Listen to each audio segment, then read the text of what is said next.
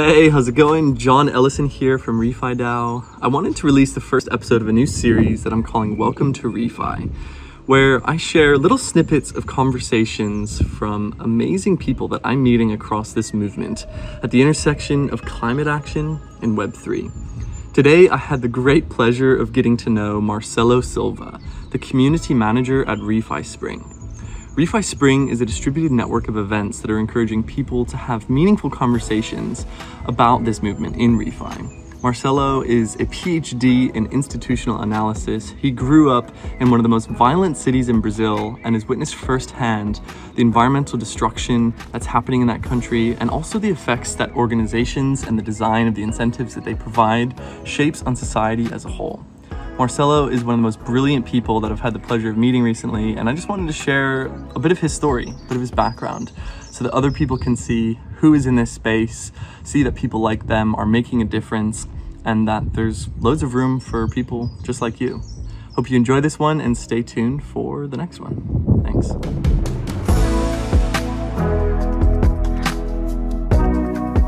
Hey, what's going on, Marcelo? Good morning. How are you? Good morning. I'm good. It's a nice weather here in Brazil because it was hot, hot, like too too hot for like two weeks, and now we got a little rain yesterday.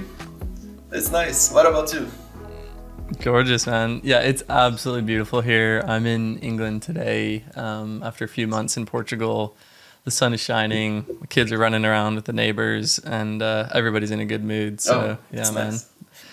But hey, thanks for carving time out. I know we've been hanging out in the Refi Spring community and Refi DAO, and I've heard really good things about you. I've obviously oh, looked at your Giveth project and Gitcoin stuff, the Refi in the classroom, uh, and just wanted to spend some time getting to know you, man. So yeah, I would love to just step back and hear your story. Like, where have you come from? And then maybe share a little bit about what you're excited about contributing to this community and what you're getting into. Oh, so my history. Um, I was born in Serra. Serra is the city where the project is going on right now. And Serra was the most violent city in the whole country back in 2005, 2006, I think. Um, more people were, were being killed in Serra than in Iraq during the war of Iraq. So it was a violent city. But at the time, I did not realize because I was a child, so I did not realize uh, how violent it is. You just leave, you know. And then I I went to university here in Vitória, where I live now, and it's the neighbor city, like just like uh, one kilometer away. It's not that far, and and then I realized, oh, life is not like that we got you can live better. And I I have a degree in philosophy, a master degree in, in theory of justice, and a PhD in institutional analysis. Uh, and and that's when I came to realize about uh, how important it is to build institutions, like to mm. to retain the value that we produce as a generation, and to keep uh, the reforms, the good things that we do as a generation. Because um, I don't know how it's in Europe, but in Latin America, we got a we got a, a problem that is a good government come and then do nice things to people, and then another one come, a bad government, and undo the whole thing. So if you if you don't have if you, we don't have like nice institutions to keep the value produced, uh, all the things will be just will be just like going up and down, up and down.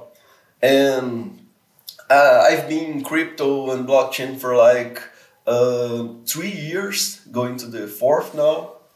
Um, I, I uh, as as the as most people, I started well, with investments.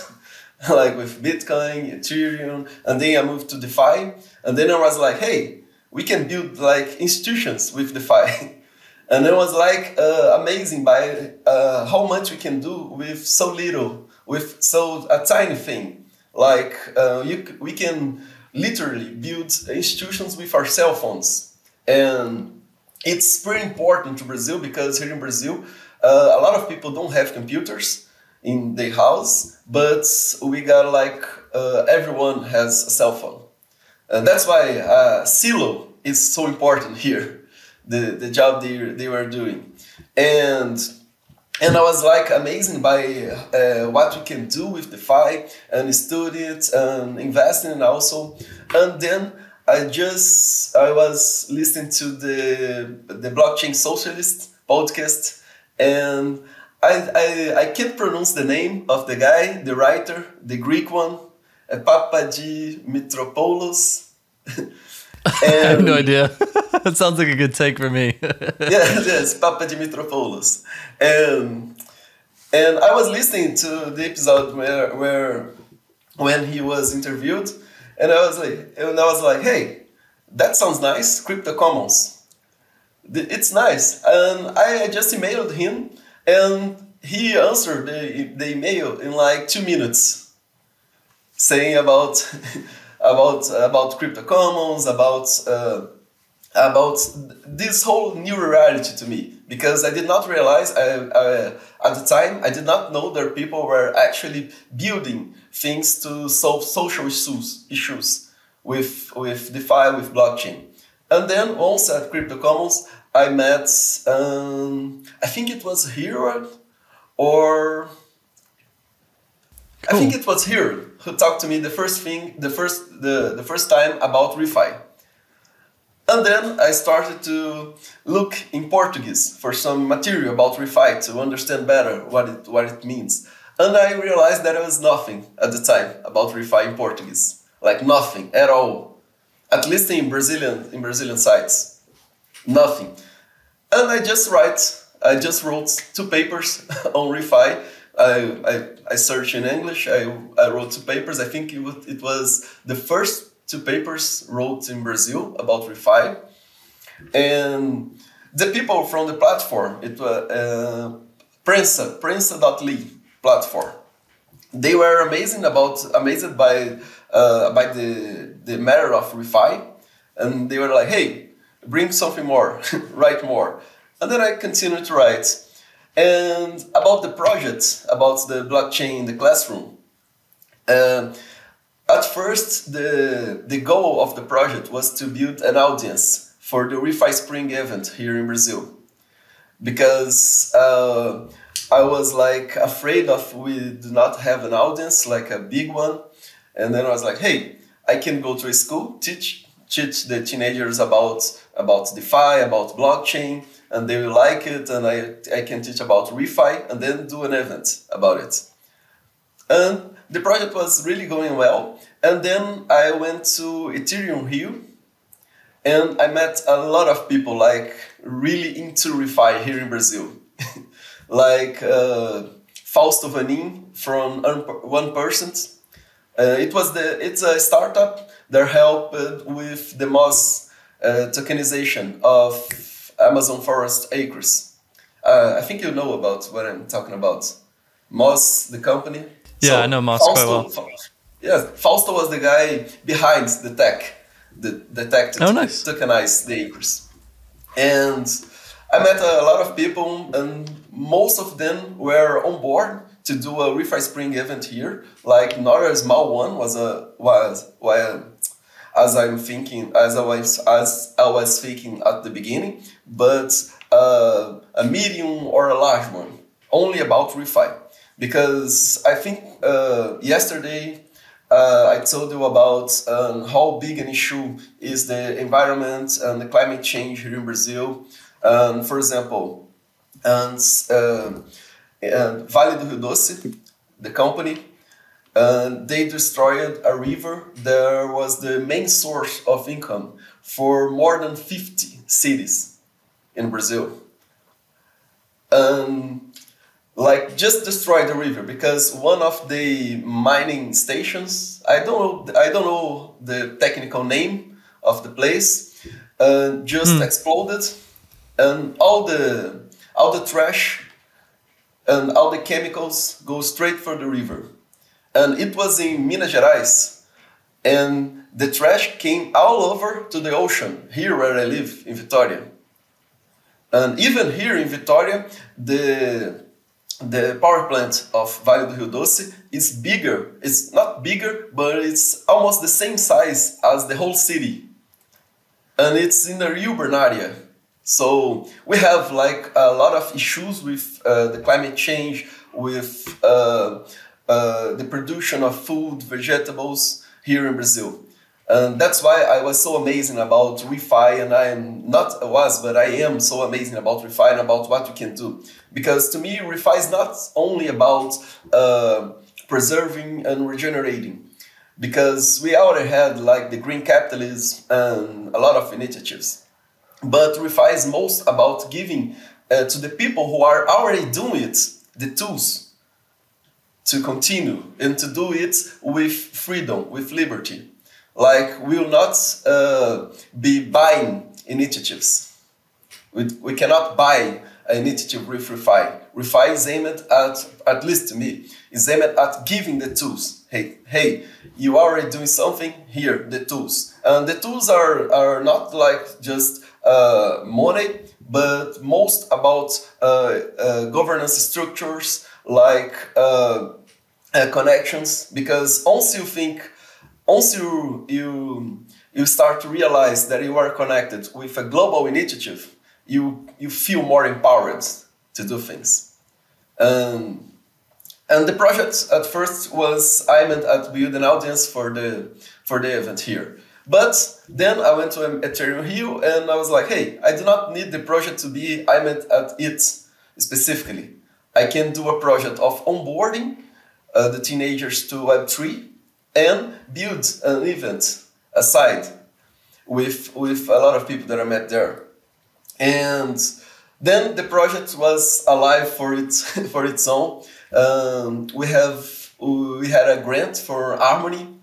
Um, uh, I think what it was nine k, and it's a it was really, really nice because I could bring two more people to the project and building a website and start to uh, doing some partnerships with some platforms to really do the course. Like we can right now we have six online course uh, only card the format of cards about its onboarding course. Like how to set up a metamask uh, the the basic elements of a blockchain what is the hash function uh, consensus algorithm. So and I think this is it. The project is, is, is going really nice right now, and I'm pretty excited about how this is going. And uh, I think I, uh, I also told you yes yesterday at the meeting that I'm now working with people from Bankless Brazil, and I will contribute contribute with some content about ReFi and about education because I was searching for the material about ReFi and there was nothing in Portuguese at least. and we've been doing that. So enough with me. How how are nice. you going? How is it going? Yeah, man, that's super cool. I, I love it. Um, happy to shift gears in in a bit and share some of my perspective on my journey as well. Um, you mentioned yesterday that you were also part of uh, Black Leaders DAO. Is that right? I don't know much about that organization. Yes. What, what is it? How did you get involved? So um, uh, I went to Ethereum Rio and it was a pretty white event. And it was like old because uh, Rio de Janeiro, uh, more than half of the population is black. But the event was like, it seems like Europe. but we got like, I think it was, uh, uh, I don't know, maybe 50, maybe 17 black people, like all over the event and at least I think 10 of those were scholars from Blue DAO, a DAO from Harmony. And we just like, hey, we are the only black people here. And it's not it's not a mystery why we are the we were the only black people because it's really hard to onboard people about uh, with uh, tech in general not only black people, but people from all uh, ethnicities which were like oppressed or poor people in general also. It's really hard, at least in Latin America, because with the poverty here, uh, uh, came to get, come together the lack of education and the lack of opportunities. So uh, it's not a mystery why we were the only black people there. And we, we realized, hey, we should do something. And we realized that we were like pretty diverse between us. Like I'm from Brazil, and there were Daphne. He, she was uh, from New York, a senior uh, uh, developer, uh, a software engineer, senior. And Sunny, Sunny is from Kenya, I think. She managed the Vegan Africa Fund, who supports like small producers of food around around Africa. And uh, Marcia Silva. Marcia, it's an amazing woman here in Brazil who built an initiative called Museu de Favela, the Favela Museum, to record and store the the narratives of people from favelas about the world and about the favelas and it's it it's a it's a it's a wonderful job. Like uh, you really you cry if you listen to the narratives. Uh, for example, one of one of her productions at the museum was a series of interviews with some mothers who raised who raised their children in favelas. And it was from like hey i have i have three children in a favela and they are they are going pretty pretty well right now. They study and they have jobs. To i have five five uh, five ch uh, children in favela killed by the police so goes all the way and it's and her job is really nice and so we met a lot of people. Like for example, Aline, Aline Silva. She was she's a, a, a an athlete, Olympic athlete from Brazil. Um, I think she won a gold medal in Tokyo Olympic. So and she has also a project about teaching uh, small children how to wrestling and how to speak English because English is it's a barrier here in Brazil. Um, and also Spanish is a bar is a barrier here because we are sure. like doing our own thing in Latin America. We don't we don't speak the language that the rest of the continent speaks, hmm. and we also don't speak English. So we are just here. And, and her project is really nice because he, he she can like connect the the girls to some opportunities uh, abroad and well, it was a lot of people with really nice projects. And then we managed to like reunite the projects around uh, a single purpose of trying to mm-hmm. help the black leadership around the globe who struggle to build projects like uh, the one we have. Mm-hmm. Because it's really it's really hard for a person, for example, here in Brazil, uh, within a favela or a poor community in general, to ask for money to do something nice for the community because the hmm. the big corporations already have the the projects and the small business cannot afford to give money so usually the people who are trying to help the community here in brazil are like alone doing things hmm. from uh, their own pocket so yeah. that's what black leaders is about to help those people about especially black leadership to build projects uh, and we, we do that by trying to connect with fund opportunities with uh, educational opportunities job opportunities and right now we are building an ecosystem of professionals who will help each black leadership uh, in each part of the globe with specific uh, demands and requirements for their own activities I think this is it. I speak Man, a lot. sounds awesome. Sorry. No, this is it. This is exactly what I was hoping to get into. Is just trying to understand the space because this is like a totally different universe for me. You know, I, I feel as though the internet is great at making connections, but you often end up finding yourself in a corner of the web, so uh, disconnected to lots of other pieces of the puzzle. And so I think part of the reason I wanted to chat was just to see what you're up to. Uh, love how far and wide you've spread yourself. Had no idea you had a master's and a PhD. Like, super sick background. Um, and yeah, man, excited to see what happens at Refi Spring in Brazil and how this Refi in the Classroom project goes through. Um, I just want to encourage, yeah, anybody who's listening, check out your Twitter profile uh, at Marcelo Alt 5 and yeah, man, you've got links to Black Leaders DAO, um, a couple other projects that you're working on here, uh, blockchain in the classrooms, and then Bankless Brazil. Um, for anyone who's interested. Um, so yeah, man, lots of stuff going on, and uh, it's just grateful to have some chance to connect today. So thanks for sharing a bit of your story, man. And um, yeah, it's been really fun.